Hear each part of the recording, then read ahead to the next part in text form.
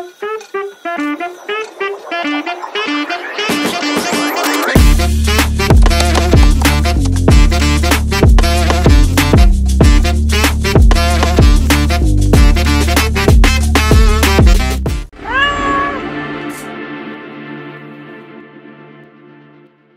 everybody. Welcome to PyPodcats' Hidden Figures of Python podcast series. The PyPodcats is um, created to highlight voices from the underrepresented group members of the Python community. We follow the Python Software Foundation's Code of Conduct. So if you want to know a little bit more about the Code of Conduct, you can check on pypodcats.live slash conduct. That's P-Y-P-O-D-C-A-T-S dot live slash conduct. Let me do a little bit um, of a self introduction. My name is Georgie, and I'm based in Amsterdam. I'm one of the PyPodcats hosts, and I'm also one of the board director from the PSF. Over to you, Teresa. Hi, my name is Teresa. I'm based in Hamburg. I'm also one of the PyPodcats. I'm um, involved in several initiatives of um, Python Software Foundation, like the Code of Conduct work group, Diversity and Inclusion work group in PyLadies Hamburg. And on to you, Vicky, our guest for this episode. Hi everyone, Vicky here. I'm based in Dublin, Ireland. I look after PyLadies Dublin here and I have many, many hats on, um, which I won't name, but I am helping out in the PSF uh, grants working group as well, uh, amongst other things. So thank you for having me here today. And thank you, Vicky, for joining. Well, Vicky, you have been an active uh, member in the Python community for quite some time. So how do you get started using the Python language? That was back in around 2002. Uh, when my now husband, um, then we used to work together um, in the company. He came across Python and we decided to use it to help streamline, streamline our internal tools processes, made our life really easy. As you know, devs are kind of lazy and stuff. So this really helped us out a lot. And it was out, you know, it was just really nice and simple to use. And it was actually days before we encountered Python. I was, I, I did a Perl course at work and I had to start. I was just sitting there lying on the table, forgotten once I discovered Python. So that's how, how I um, started using Python um, quite early on. And it was just um, really helped us out, really improved things. I was um, helped with a lot of projects in the, especially with the patch management and things like that, which is great to see that even current current day, I, I see my old colleagues still using, you know, Python and things like that. I, I assume they improved on the tools, but it was good to be super early and just making life easy for everyone using a super amazing technology and, you know, super easy to use. That's really cool. I have a question though regarding your involvement in the Python community. What attracted you to the community itself, like organizing events and getting into PyLadies, for example? Like you're not just coding in Python, but you're doing so much more. What brought I suppose uh, back in those days before Meetup and Eventbrite came around, uh, you have to know in Ireland we may have one Meetup a year, and that's through the Irish Linux User Group mailing list. If you are on it, and primarily word of mouth. I, much as I love my work colleagues at the time, I, I do want to learn from other people people like my peers from other companies as well and other technology, which I just want my brain to be melted a little bit and don't understand. Uh, so when Python came about, um, probably two years after we discovered Python, we saw other people were doing Python stuff. And in Dublin, I saw the meetup, jumped on it. That was about 2004. It was started by an engineer called Darius Sharon, and then it got rebooted in 2005 by the amazing Sean O'Donnell. And we were gathered around a dark pub, Irish pub. Yes, we're in Ireland, stereotype. We all meet in the pub. Yes, that's what we do. Sit around this tiny laptop in the dark pub, just not working. And someone said, let's get a room with a projector and give talks. And no one volunteered. So I said, oh, how hard could it be? So I took the ball and ran with it and uh, ran the Python Ireland meetups every month, nearly every month for nearly over 11 years before I handed it over. So that's how I got involved with the Python Ireland commu- community. It was pretty much very early on and when everything was extremely exciting, completely new technology that was the hottest thing right then. And everyone just wanted to share what they did with Python and its related technologies. With PyLadies, um, that's another another story as well. Um, that got launched, um, you know, during PyCon Ireland, you know, in 2013 as well. So yeah, a, a lot of things kind of started by me, I think, a serial starter of things. so, so when was that? Is, is, is that in like a year It was um uh, so uh, PyLadies Dublin uh, was launched in 2013. So that was uh, my last year chairing PyCon Ireland 2013. Um, it was it was a pivotal moment because I managed to invite a very first um, female keynote technical speaker, and that was Lynn Root, and she was co-founder of the San Francisco chapter of PyLadies. And I go, it's a sign. Why not launch PyLadies Dublin? I was uh, launching not-for-profit initiatives all over the place around 2012 and 13. I said, what's one more to add to the list? Uh, so we launched it in 2013 during Sprints weekend, and we had about uh, six-ish people, a nice yummy cake, and a plan that we don't want to be the same as other technical user groups at the time, which we know is right. uh, mainly two long talks with beer and pizza in the middle, and then the pub afterwards. And and I did say we go to pub meetups a lot here, especially in Ireland, but the folks here did not want to go to uh, pubs, did not want pizza and beer all the time. They wanted something more interactive, but they do want something monthly. And uh, I've been, I'm still doing it right now, and it's currently trying to keep it small to try and make sure that it's not too scary for someone who's new coming to into the group and who wants to speak up or want to give a talk or just want to go around and meet other people right. and just don't feel like they want to run away. And because I'm not a coder mm. or I'm not this, I'm not a Python person, just want to make sure you just come along, you're curious, or you just want to share and be excited about something you found in Python. Just share with us. It's safe. It's a safe space. That's right. uh, so that's that's yeah, so 2013, quite quite a while ago. I'd like to add a question, a follow up question. Maybe it's a bit off script. Okay, so um, how has the your involvement in the Python community helped in your career, or has it helped in your career? Helping? Oh yes, the, it, I'm so blessed to have come across the Python community, especially um, as I said, I was really very privileged in the right place at the right time, being able to see Python in the early days, being able to see a lot of the core developers, especially I'd gone to EuroPython. I actually came across them. I didn't even know they were the core developers. And then I kind of nearly fainted when my husband told me, you were sitting on the table with all the core developers. Uh, but they were so welcoming and so inviting and so amazing to talk to and so supportive. Those early days in 2009, while we're trying to prepare our first conference in 2010 for PyCon Ireland, it was the support of John Pinner and everyone um, that helped us through, you know, setting up, like thinking of the ethos and why you're setting up the conference, who you're setting it up for. Um, I think meeting those people and being supportive um, gave me the kind of positivity that I want to pay forward and help others as well. And that's why I carry that as I left Python Ireland behind and PyCon Ireland behind because um, other people have to take over and I was burning out, but I still want to carry on PyLadies Dublin. And I just love how just even global PyLadies, how we still have that ethos of, ethos of trying to help each other, trying to be inclusive and have safe spaces and stuff. Um, and that, you know, goes the same with EuroPython as well. And that, that is a huge scale jail. But I end up joining a lot of those just to figure out how things work and run in the background to try and improve how I do things here in Ireland and also share that experience with other tech community organizers. So yeah, I have, from a community side of things, I've learned a lot as a volunteer, running events, hosting events, organizing events. Um, career wise, I kind of stepped back a lot from being a developer as I got more pulled into the community side, even though it's all mostly volunteer. But I ended up working with, um, say, uh, like Dogpatch Labs, co-sharing uh, space, who also runs a startup program here uh, currently, but they have a space for events and they were launching it at the time. And they asked me to come in and connect them to the technical user groups around Dublin to tell them to come along and use it. So I was pretty much like a liaison with the Irish tech scene. And I was trying to keep a finger on the pulse there is a very active um, kind of tech community here.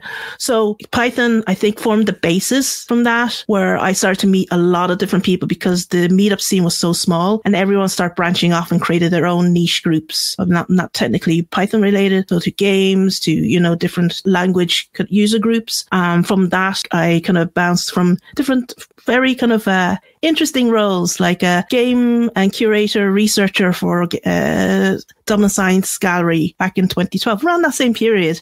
That was, I got paid to play games, research about games, go to games festivals and things like that. And they came, I interviewed a lot of game exhibitors or potential exhibitors who became exhibitors and the gallery produced an amazing wonder world of an exhibition from my black and white spreadsheet. It was fantastic. Kind of, uh, that was completely so far away from coding but related to games, related to tech, connected me to a lot of indies. And that's where I got involved with a lot of indies. So I kind of very spread out in a lot of geeky things. So community meant a lot to me. So ev- even though I start moving away from Python stuff, I always think back to how I got started. And that is Python, the community itself, the warm heartedness and the open arms of the community that brought me in in those early days and showed me the ropes. And I want to push, give that to everyone else because it is hard to start off for a lot of people. It is hard if you fall down, especially COVID and you need to restart again. You need that boost. And I want to help everyone as right. much as I could.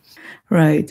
I think you're not the first invited um, guest that said how important the community has actually led us into um, the group and how it actually motivates us into like creating more events, creating more um, opportunities for everyone to join. Your story about um, how you started PyLadies in uh, Dublin actually reminds me of how I started because uh, I was um, already in um, PyCon Thailand and organizing the event. And one of the speakers was um, Lena from uh, PyLadies Japan, Tokyo, and she gave a talk about PyLadies. And I was like, hey, wait a minute, there isn't one in in Bangkok. And that was how I actually started uh, PyLadies uh, Bangkok along with another um, co-founder. So I think a lot of us just kind of like a kind of chain effect that we actually link from one to another and and I also like the the way you mentioned about how um, you started PyCon Ireland. It was a it was a, a core group of us in the beginning. Uh-huh. Uh, there's only like six to maybe max twelve back before PyCon Ireland. Like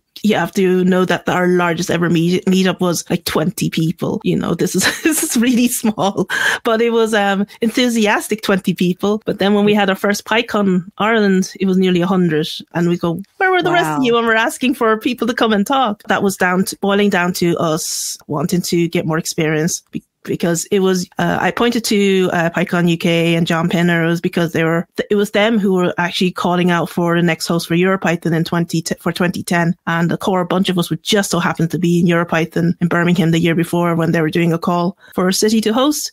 And that's how it started really. The ball got started there. And then of course a pub got in there as well. And when we're back in Ireland and I was the only sober one but that was another side story. But uh, we uh, we started PyCon Ireland and uh, yeah a bunch of us. And and of course, when you, you need someone to open the conference and being a bunch of techies, no one wants to stand in front of everyone. So I got said, Hey, you, Vicky, you're doing a bunch of work. You know what's going on. You go and tell everyone what's happening. So people say it's down to practice when, how, why, how do you speak in front of people? But, but it's more like it's still quite nerve, nerve wracking, but you have to do it. It's like a, it's like a job. You just get pushed out in front or else the conference will never start.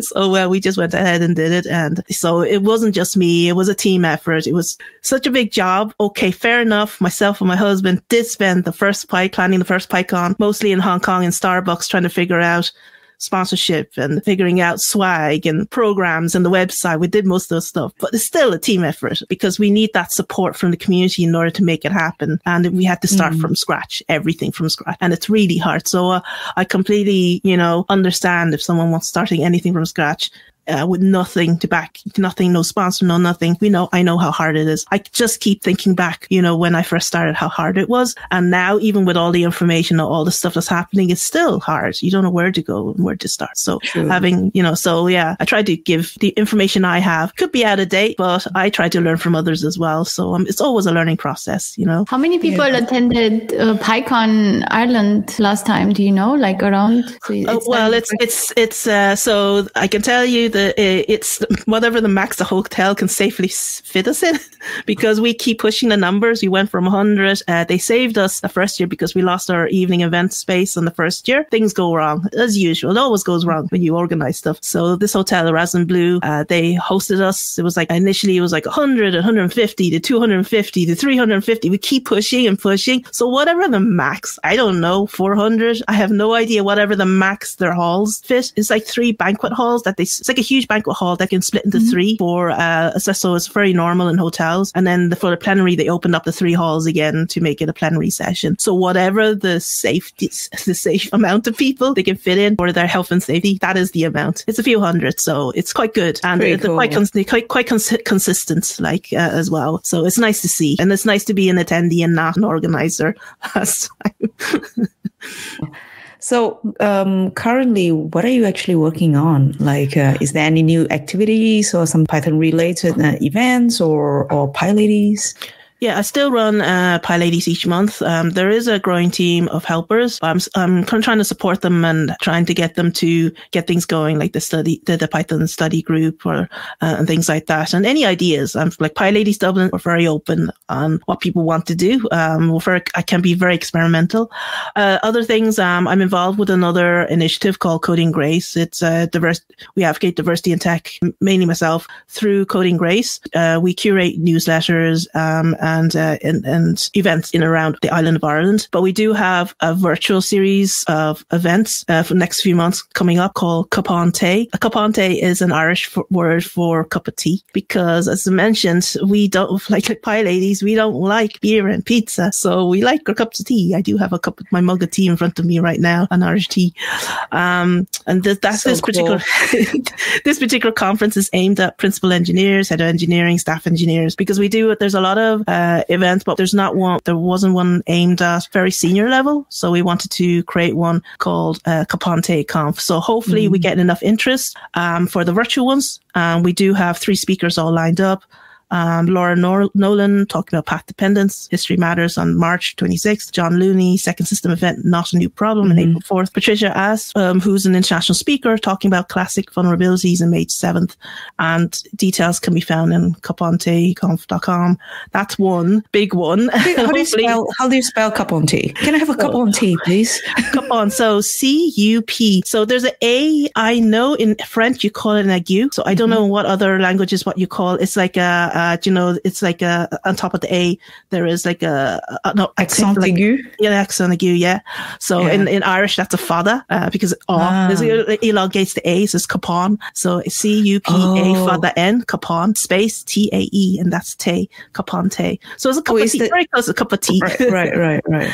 and um, what, so we'll, wait, what is Irish tea? Is it black tea or? Yeah, it's normal tea. We have, I don't want to go into the whole argument. There's two, there's Lyons or Barry's. Lyons is pretty much Dublin, but everywhere else is Barry's, and I'm Barry's tea person. But I don't know if you want to keep that in the podcast, but it might cause a fury in Ireland. so I don't want to listen to Vicky anymore. She drinks Barry's tea. um, no, so, yeah. tea should be that way.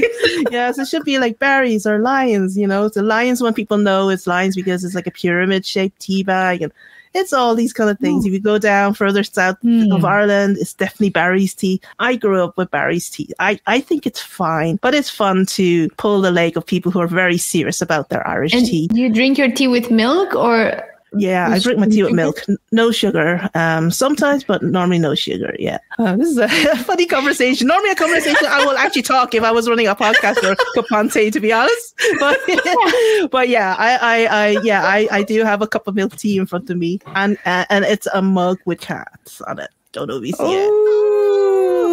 For the for the podcast. That's oh, perfect. Yeah. Yeah. just so happened I picked it up. Uh, yeah. You have, uh, you have quite a professional setup. Do you do uh, other things with it? or why do you have such a professional setup? Oh, that was from um uh, thanks to COVID, things got upgraded more and more because my iMac only had um I think the camera was like uh 720p and I wasn't very happy with it. I wanted more high def because I was doing a lot of podcasts, um uh, streaming live live streaming and stuff, and I wasn't very happy. And I want a higher know, I want at least 1080. I, said, I want at least 1080. So my camera it got upgraded. My lights got upgraded. My microphone upgraded at least twice. I think I have like audio switchers. I have you know uh, other switchers in front of me. Um, and then the lights in the back keeps getting upgraded a little bit here and there. So yeah, there's a lot of. I still got lots of things kind of I want to do uh, because it's, it's not just purely. I want to do a lot more content creation, but been talking about that for two years to everyone who's known me so far. But before that, I've been doing a lot of stuff for when I was a maker advocate for Dublin Maker. That was in my past. Um, it was part of, it was actually a, a, cool freelance gig with Dublin Maker. If you're into the making culture, uh, they run a maker festival and COVID really dented the whole maker advocacy because you're meeting makers physically, make, meeting makers. You're physically mm-hmm. going to colleges, talking to lecturers that you're potentially helping teachers learn about STEAM and workshops and stuff. And you can't do that when there's a whole right. lockdown. And at one stage, we can't even go outside two clicks outside our home from our home. Uh, so what we ended up doing was, uh, what I ended up doing was to, doing more content creation, making, mm-hmm. doing my own stuff, learning to sew, showing that off, and then starting to interview other uh, remotely other makers in and around Ireland. Uh, then we had to do a virtual Dublin Maker festival. That was fun through Gathertown, uh, where we had like a newscaster type thing with two science communicators running around like a, uh, like our roving reporters doing live yeah. interviews and stuff. And I was I was also broadcasting as well as in the behind the scenes operations as well. So it was completely hectic. Um, and then after that, I went and with another friend, we did an Irish Makers podcast. We interviewed a lot of different people from blacksmiths to special effects people to uh, cool. bladesmiths to uh, cosplayers to people how they felt, makers that how they felt being isolated during COVID as well. That kind of all those kind of different topics. Um, mm-hmm. So it was, and we even went to uh, Dublin Comic Con and interviewed a lot of cosplayers there. So we did a lot of content work, um, and, and also Maker itself on site. So besides sitting here, uh, we were also doing stuff, um, off site in, on, on, or on site at the various locations. So that's why all the setup is just gone, it's just got built up over, over the period, thanks to COVID, as I said, um, and ended up doing a lot of digital stuff. So, and that kind of, um, feeds into some of the, I think mostly, yeah, uh, that was the maker stuff, which I still try to promote. Uh, I think during COVID helped a lot during PyLadies Dublin as well. We kept on going with our monthly meetups. So we saw that there was a lot of people watching playbacks, not necessarily attending live because I think people were having Zoom fatigue at that stage, which is very understandable. I made peace with the numbers. I was very upset setting it all up and uh, had a few near meltdowns because tech went wrong. One stage, people didn't leave after 20 minutes of tech, tech melting down. They were still hanging around for me to keep it going. And I had a very special guest as well. I think it was from mm. uh, Ima- Imagilabs. I had the C- CTO on. That was like my January very big event and it went horribly, horribly wrong, but everyone was super nice. And that's what I love about communities like ours, especially PyLadies Dublin. Technical difficulties, either virtual or even just this month when we had our, our meetup, we had a, a few technical mm difficulties and people are all okay with it because they're just super nice, you know. Um, but uh, that's tech and i'm hoping to um rec- myself and my husband hoping to uh, improve our recording at different uh, at the PyLadies events at the very least and hopefully we will help other user groups who are running uh, uh their technical meetups to mm. help them record their talks because I, I can see people asking them, are your talks recorded? Are your talks recorded? And they're not. Um, So we're not going to do it for free, but we're not also not going to charge them a huge amount. But we, we definitely understand that, um, you know, people do need some of the content and we just give them the videos, you know, take the videos, clean it up a bit and just give it to them and let them, let them, it's their, nice. their content. Like, so it, it's just to, again, an extension of you know, community work that we're doing here and helping people. And especially now that I heard feedback that people do appreciate mm-hmm. online events because it's more accessible because they can't right. come into the city to go to an event in the evening. Things are just in the real life is in the way you can't make it. It's not like they don't, they, they don't want to come. It's they physically can't make the time right. to get to it, right. but they would be able to watch it if it's online, uh, or make playback, but they do appreciate if it's, if, if it's stream, if it's streamed streamed online. So I, right. I kind of appreciated that kind of feedback as well. So um, so, so we're making a conscious effort to try and make it accessible, but it is a lot more work, as you know here, with a lot of editing and video. It, it does take a lot more time um, yeah. and stuff like that. And I so people, if you if you need help, Vicky and her husband is here for you. Uh, I think there's one more that um, was very interesting thing that I'm involved in is um, uh, I try to stay away from startups, but I, I, bumped into a friend of mine, as everyone does after COVID for a coffee. And I told her there's this itch that I'm scratching from Coding Grace side that there was a, a lot of female founders are, are coming to us for advice, just just privately asking for help, saying that they're not techies. What do I do? What tech do I use? Oh, I'm locked out of my AWS account. The person that was contracting us um, can't be found because they forgot to give us the, key, all this kind of stuff. And, you know, how do we, do, do we, do we get a CTO now? All these kind of questions. I was just telling my friend and she just so happens to be relaunching TechFoundHer. Uh, so t- t- Tech Found and then HER. And she wanted to do a boot camp and she said she was had similar ideas, similar people coming up to her as well. But she was more in the startup space. So she was talking to a lot of people. So between my background and, and her background as well, she used to run Tech for Good Dublin. We decided to put our heads together last year to run this boot camp bootcamp, and we're doing again this year. Uh, it's aimed at female founders in, in the kind of um, pre-seed, like early stage, or you have an idea and you want to create a startup, but you ne- you don't necessarily have a tech background, but you know you will end up using some tech in some form or another in your startup. It's a way to bring the community together, share experiences, kind of demystify tech, and you do, just to know you don't have to be a coder to run us do a startup that uses tech as well. And we have some uh, pretty pretty amazing kind of uh, speakers, which will be announced the next few weeks. And the bootcamp itself is happening on Tuesday, April 16th in a, in a historical beautiful building uh, uh, that is at uh, Dublin City Hall in Dublin City Centre, and um, looking forward to that. Um, so that's kind of uh, something a little bit different, sort of related, crosses over because again, it, it advocates diversity in an area of startup, um, which is I know we have a lot of problems in tech. Oh my goodness, startup is like another barrel of fun there. Um, so uh, it's it's good to be able to help where I can um, with TechFoundHer. So I'm pretty much kind of helping the operation side of things uh, where I can.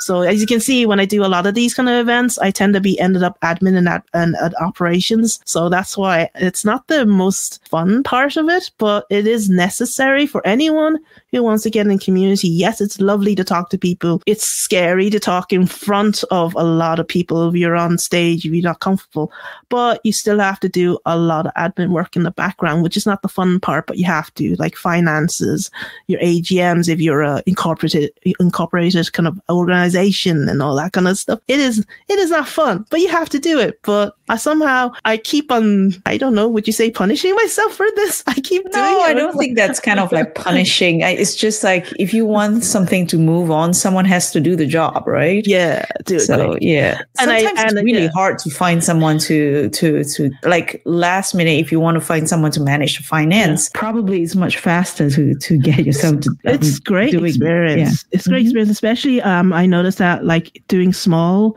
small kind of events, small organizations like the ones I do, I can turn around stuff very quickly. But then um as I said, I worked as a the, the maker advocate for Dublin Maker and that was actually a paid position. It was a very special one-off one, and it was part of um, the, the it was funded by uh, Science Foundation Ireland. So the money has to go to an institution, which is a university. So Dublin City University was where one of the volunteer organizers or the founders worked, and um, that's where the money was uh, going through, and that's where the funding was going to.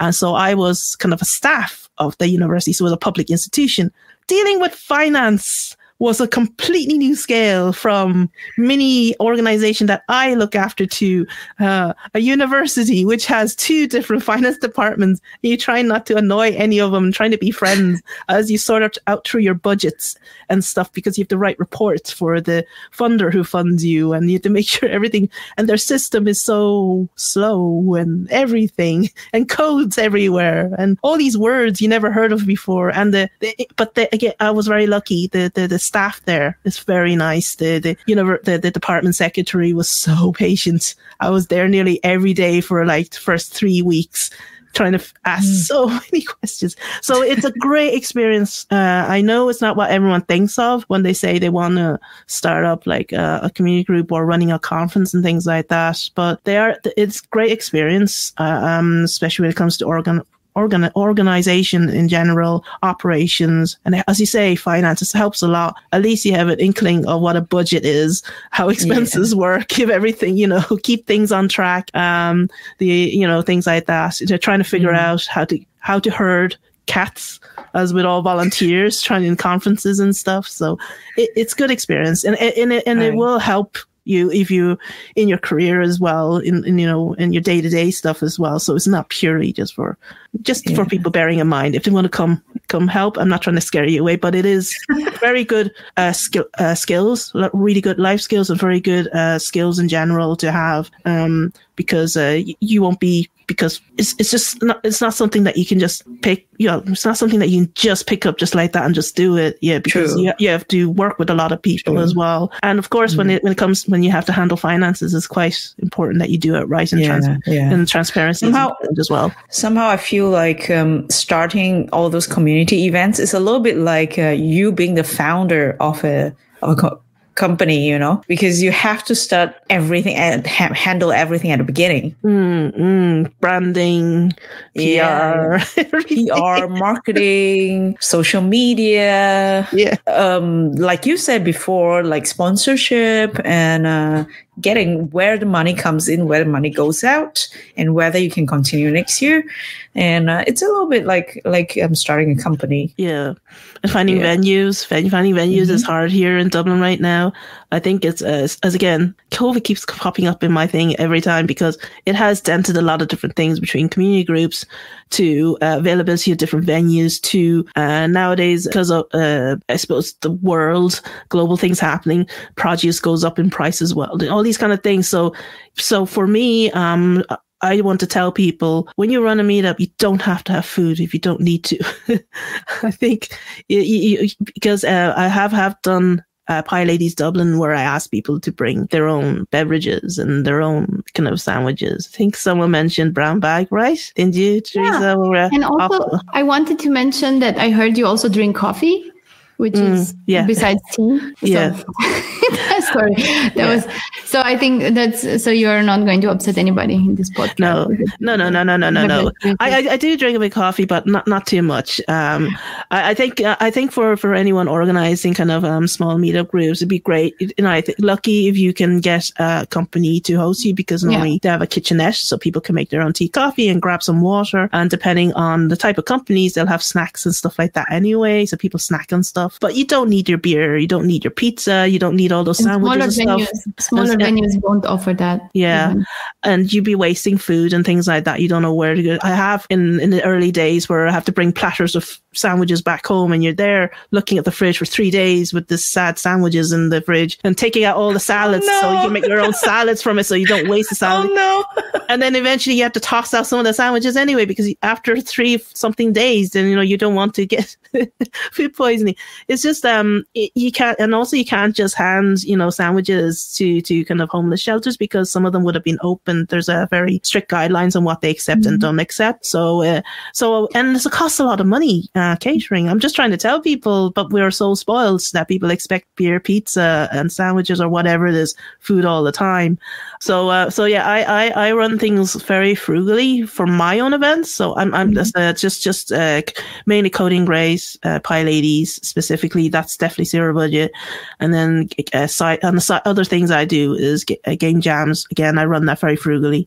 Um, if I'm helping other people, I try to point out things, you know, but it's it's their budget at the end of the day, so I kind of help them where I can and point out things. But for my own events that I run, um, I try to make sure, you know, that uh, we, we we don't waste any money. The money should be spent on the people, not not not not on, on, on other frivolous stuff. I suppose, from my, my point of view. So yeah, I I have a question regarding what's next. Do you have Oh. small plans, big plans, Python plans? Mm, I suppose uh, with the um, the when I mentioned Cupán Tae uh, virtual talks, I did say that uh, that that's used to gauge the interest from people. Um, if they like the format, so the format is person gives uh, the guest speaker gives the talk about an hour. It's quite a long talk. Uh, it's very in-depth technical talk, and then followed by it on conference style breakout sessions afterwards. So it's like the DDD conference. Uh, you can do a search for that. It's sort of like that, the DDD unconference kind of format. But we were going to do it in person, but uh, it didn't work out uh, timing wise, so we decided to do virtual to gauge interest. And we have enough interest, we would like to host this conference outside of Dublin because Dublin is expensive. We want to raise the profile of the tech technical user group community in that local town or city, and also because um, people have been working remotely from home. Uh, some of those people might be don't have to travel to Dublin; they can actually go to the lo- this this particular conference. This is in their locale uh, as well. So, uh, and if this works out, we would like to move to different towns and cities around Ireland to highlight the tech community and stuff like that. I hope you can see a passion here in what we're trying to do. Uh, besides the, It's like the it's like events on the wheel. You know? events on wheels. Just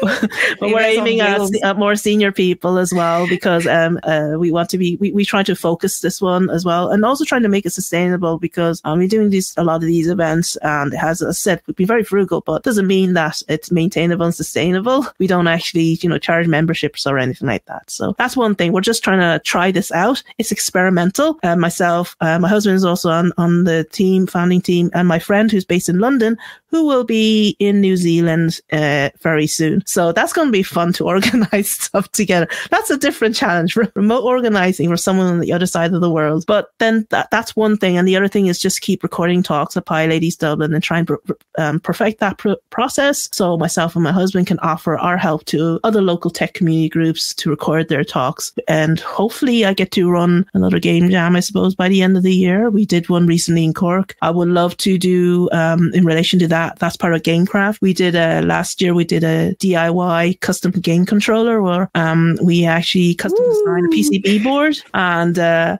uh, and we we preloaded it with uh, Python on it or MicroPython on it, uh, and um, all the people had to do was learn how to connect the wires uh, between cool. the the, contr- the, PCB board uh, and the Raspberry Pi Pico, and then they can just we just gave them lots of crafty stuff and they can just make their own board, board, uh, board uh, their game controllers or whatever they want to do with the controllers can be out completely, uh, uh, completely different use, whatever they want. Um, but we gave them the components. So we, we did some, we did this for beta festival late last year and we have some components left over. So we want to run something again, uh, similar.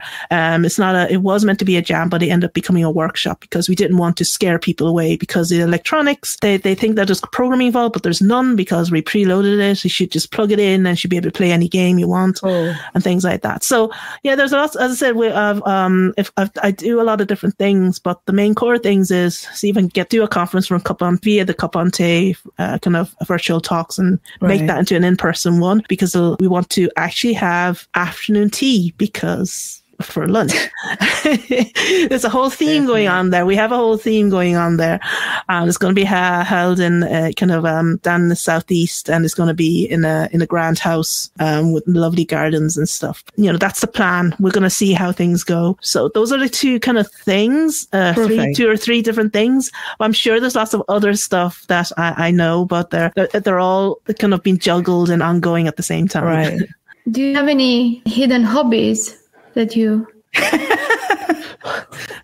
ah, ah, ah. uh, let me see. I, I heard so just now secretly you said something about sewing. Yeah, I have so many things. I have to get back onto my sewing machine. Um, I have so many passions. I want to make my first pair of uh, of pants. I've got um, I've got cross stitching. I want to get back on as well what else have we got? Oh, oh, I want to do. I want to finish off my kind of what? What do I have back here? Hold on, I have something here. My lino print. Uh, sorry, bit of a noise here. But I've been doing a bit of lino printing. Oh, can I see? Can you see this? Oh, wow, that's cool. so that's a of lino board. So it's just right beside me.